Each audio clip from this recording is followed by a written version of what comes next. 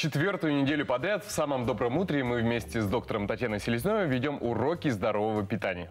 И все это время ученицей на этих уроках выступает наша героиня Яна Никитина. Сегодня у нас очередной урок. Татьяна Аркадьевна, Яна, доброе утро. Здравствуйте. Доброе утро. Чему же будет посвящен наш сегодняшний урок? Ну, во-первых, мне хотелось бы э, подвести некий итог. Да? Четвертая неделя нашего проекта. Яна просто супер молодец. Мы имеем э, минус 5 килограммов. Браво, я думаю, это достойно аплодисментов. Да, да, да. И э, замечательно выглядит, уже получает комплименты от своих знакомых и близких. И э, молодец, продолжает правильно питаться, не меньше пяти э, раз в день, соблюдает перекусы, питьевой режим и интенсивные, достаточно интенсивные тренировки, как минимум три раза в неделю. Ну и э, я думаю, что заметно и зрителям уже, что Яна похорошела, да, меняет потихонечку гардероб, очень довольна, да, Яна? Да. Э, Я хотела бы спросить, во-первых, какие-то трудности есть э, вот, в выполнении тех рекомендаций, о которых мы говорим уже, в общем-то, месяц? Вечером не хочется есть, но я понимаю, что надо. То есть все равно вечером, там, пускай до 6 часов, но что-то ну- нужно скушать. И не просто там яблочко какое-нибудь или мандарин, как, допустим, в 4 часа вечера перекус, а м, Белок. Да, белок, вот именно либо курица, либо рыба и овощи. и овощи. Вот это очень важный момент, я хочу подчеркнуть его. Если человек кормит свое тело в течение дня, не забывает о завтраке, о перекусах, об обеде, то к вечеру есть не хочется. Но все-таки легкий ужин должен быть для того, чтобы э, в течение э, более позднего вечера не пришел голод.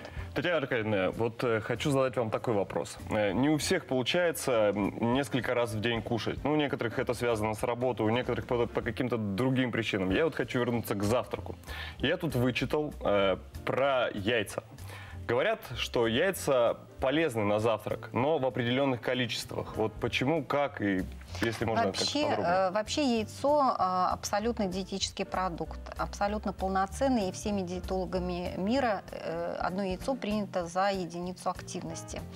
А, Единственное, что, а, поскольку это достаточно тоже калорийный продукт, яйца нужно правильно готовить, и э, если мы говорим о снижении веса, то все-таки ограничиваем ну, не больше трех яиц в неделю. Лучше сделать омлет, а не жареную яичницу, естественно. И чтобы э, вы побаловались и вкусом яйца, и в то же время это блюдо было более сытное, я предлагаю сделать, например, его э, с капустой брокколи или со стручковой а можно ли фасолью. каждый день яйца? Это много получится, это много. То есть мы Мгм. все-таки ограничиваем три штуки в неделю.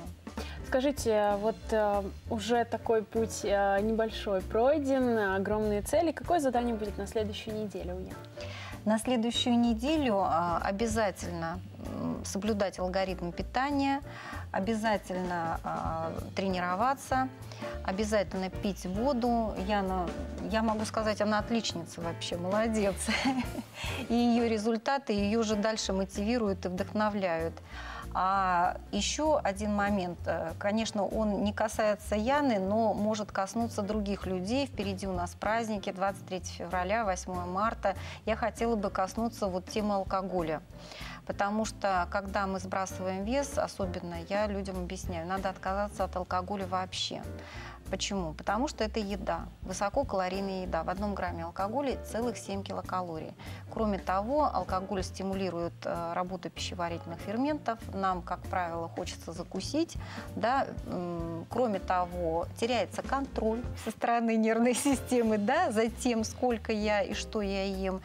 Получается, что это происходит обычно вечером, да, и в итоге э, человек вечером может потребить очень большое количество калорий, накидать э, в желудок совершенно несовместимой еды, а а алкоголь, как абсолютный яд, он блокирует э, и работу ферментов, которые расщепляют жир, он э, блокирует работу ферментов, которые усваивают энергию клеткой. И получается так, что все это идет в жировое депо. Поэтому вот у тех людей, которые а, употребляют алкоголь, особенно за ужином, ну как у нас принято, днем гонялся, стрессы, вечером нужно стресс снять, накрыл поляну, купил угу. бутылочку пивка другую, да, перед телевизором сел, и все вот это начинается.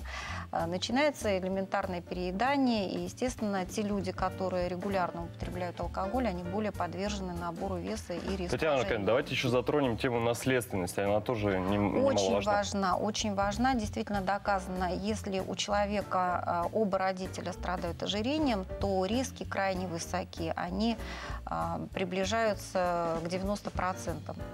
Если э, папа страдает ожирением, то риски у мальчика и у девочки примерно одинаковые, около 40%. Если мама страдает ожирением, папа стройный, то риски у сына не очень высоки, около 30%, у девочки э, больше 70%.